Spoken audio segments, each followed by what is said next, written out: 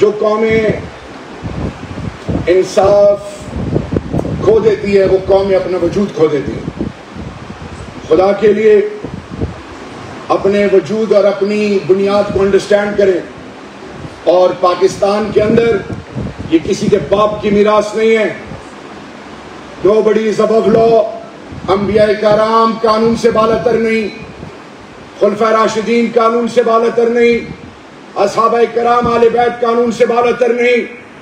तो पाकिस्तान के अंदर अगर कोई जनरल है कोई जस्टिस है कोई पार्लियामेंटेरियन है कोई प्राइम मिनिस्टर है एंड अब ऑल कोई आलिम है कोई दीन का ठेकेदार है they all are equal in the of law Nobody is above law. And if someone in any capacity wants to undermine the rest, so तारीख पढ़ लें। इनशाला हम आइन और कानून की बात बालादस्ती की बात करेंगे हम इज़्ज़त सबकी करते हैं और कोई भी ब्लडी सिविलियन नहीं है this state the people of Pakistan is basically the baseline, the pride, the future, the hope of Pakistan. Nobody else. Nobody else.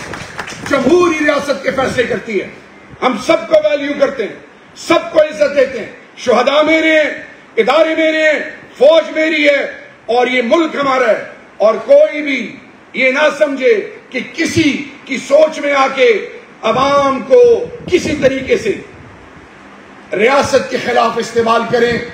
सोच समझ कर फैसले होने चाहिए, मशावरत से होने चाहिए।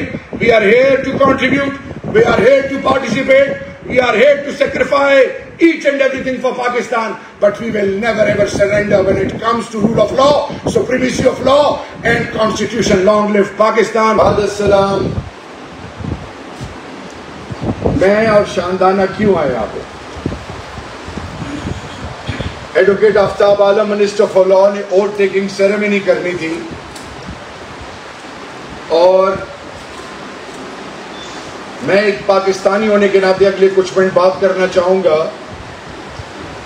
वो कौन सी ऐसी वजह हुई कि शानदाना गुलजार साहिबा को, मेरी बहन को अपना हल्का, अपना सब कुछ छोड़ना पड़ा और वो आज यहाँ कोहाट में बैठी। और इवेंट आफ्ताब आलम का था और मैं और मेरी पूरी कोहाट की टीम यहाँ पे आई।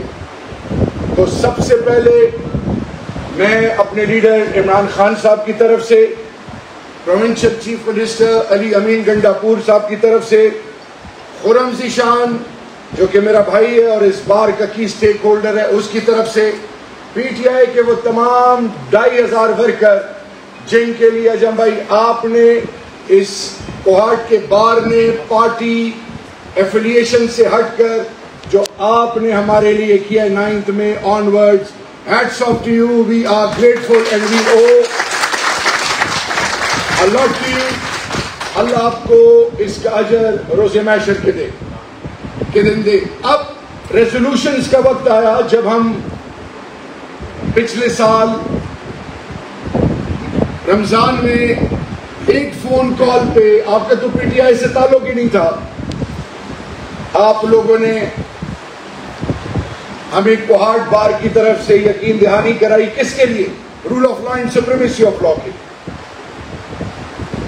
you made us not only proud but you have conveyed a loud and clear message from Kohat to the legal fraternity of Pakistan to all the key stakeholders of Pakistan that when it comes to constitution and rule of law Kohat will keep on contributing and Kohat will never compromise when it comes to anything against constitution, anything against rule of law, anything against judiciary.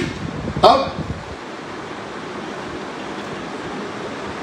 आज मैंने oath taking ceremony जो देखी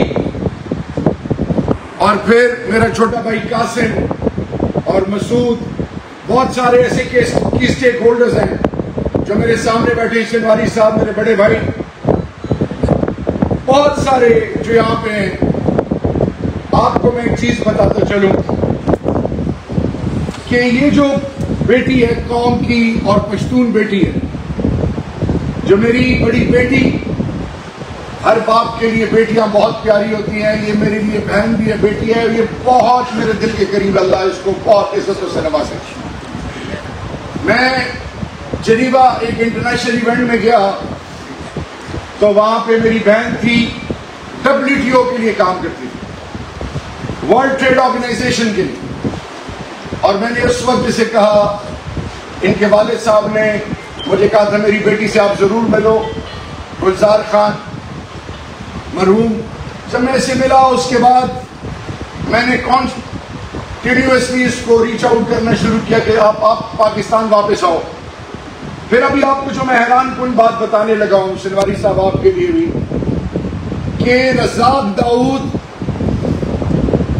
हमारे साथ cabinet में बैठता था, लेकिन ट्रेड और कॉमर्स में ये सिक्स परसेंट ग्रोथ और लार्जर मैन्युफैक्चरिंग यूनिट्स का चलना और पाकिस्तान के अंदर कारोबार और इंटरनेशनल मार्केट्स में, अमेरिका और यूरोप में पाकिस्तान के प्रोडक्ट्स को पहुँचाने के लिए उस रब के बाद इस पश्तून कौम की बेटी ने जो रोल प्ले किया है it is unprecedented she was the one she was the one who'd done wonders और आज बदकिस्मती से कुछ लोग मेरी बहन की कैरेक्टर एसिसिनेशन करते हैं। तो आज मैसेज कोहाट से उनके लिए है कि बेगम नसीम वली, वो भी कौम की बेटी थी।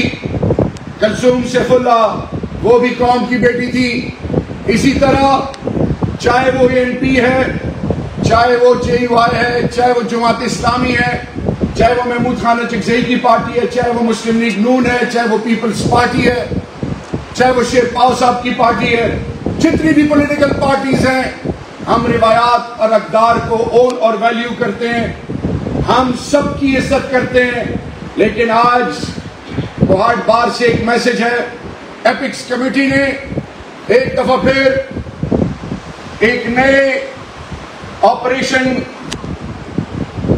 का अंदिया नहीं बल्कि अप्रूव किया है। मेरा पश्तून, मेरे कबाइल, मेरे रिवायात, मेरे अखदार मेरे मदरसे, मेरे माँ बारगाहें, मेरी मसाजिद, मेरी खानकाएँ मेरी चादर और चार दीवारी सबको पामाल किया गया। हमारे आईडीपीस बने।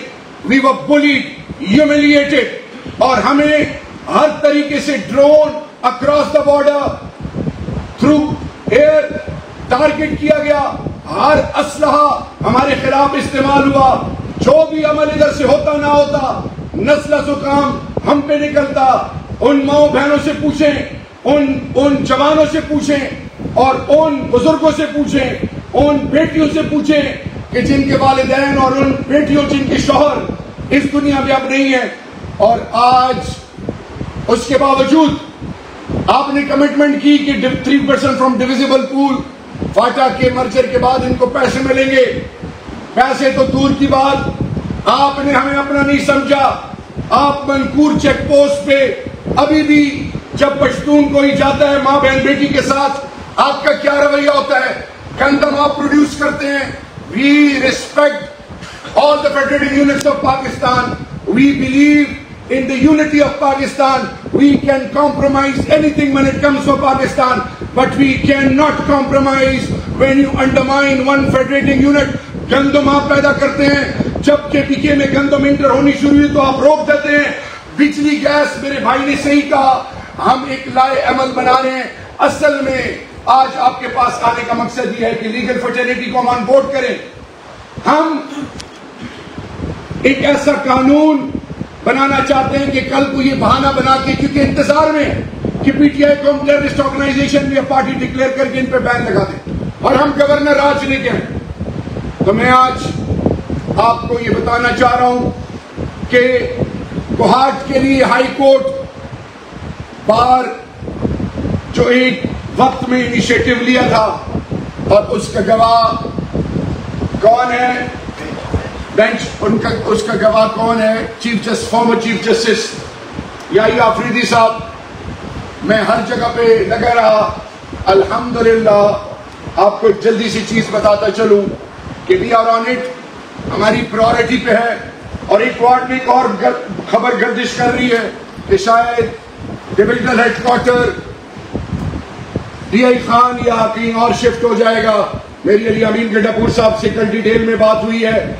जनूबी अजला के बहुत पेंडिंग इश्यूज़ हैं फाइनेंशियल और बाकी चीज़ें, उसमें काम सेक्रेटेरिएट में बहुत ज़्यादा है। विद इन पेशार पेशार के अंदर ही अलग सेक्रेटेरिएट जहाँ पे एडिशनल सेक्रेटरी और ये बाकी लोग बैठेंगे, जो कि सिर्फ़ और सिर्फ़ जनूबी असला के लिए काम करेंगे तो ये ऑफ़िस पिशावर में होगा। ये क्लैरिटी भी मैं करना चाह रहा हूँ। अगली क्लैरिटी जो मैं आपको देना चाह रहा हूँ,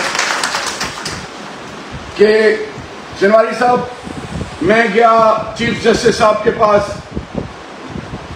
और चीफ जस्टिस साहब को मैंने कहा कि जी, मैं आपसे मिलना चाहता हूँ। पहले तो वो कि जी, किस हवाले से मिलना चाहें?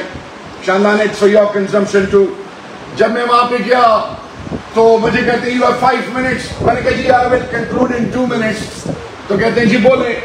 तो मैंने कहा कि जी judicial reforms criminal justice institutional reforms parliament कहते हैं कि सुप्रीम है।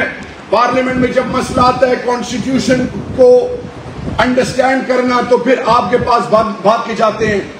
तो why not to play a bridging role why not to come up with initiative जहाँ पे पार्लियामेंटेरियन और जुडिशरी के बीच में ब्रिजिंग रोल हो प्रोविंस और फेडरल लेवल पे, ताकि जिन चीज़ों की आपकी ज़रूरत हो पार्लियामेंट उसको अंडरस्टैंड करे। और जहाँ पे आपको पार्लियामेंट की ज़रूरत हो तो पार्लियामेंट उसको भी अंडरस्टैंड करे और आप भी अंडरस्टैंड करें। उन्होंने कहा, जी अमेजिंग आइडिया उन्होंने वो जुडिशियल एकेडमी के जो भी इंचार्ज थे फ़ोन किया क्या अफरीदी साहब आ रहे हैं। मुझे वहाँ पे जजेस से मिलवाया गया। कॉफ़ी शॉफी पिलाई गई। चार साल हो गए, उसके बाद किसी ने पूछा नहीं। So now judicial reforms criminal justice system आज आप क्यों एहतजाज करते हैं? आज जब कोई आपका लीगल टीम का प्लेयर उसके साथ ज्यादती होती है, आप क्यों प्रोटेस्ट करते हैं? आपकी से एज अ बार उसको ओन और वैल्यू क्यों नहीं किया जाता? क्यों आपको अंडरमाइन किया जाता? है क्यों लीगल फर्टर्निटी को वैल्यू नहीं किया जाता? क्यों लीगल फर्टर्निटी के अंदर ग्रुप्स पे ग्रुप्स बनाए जाते हैं? So to cut the long story short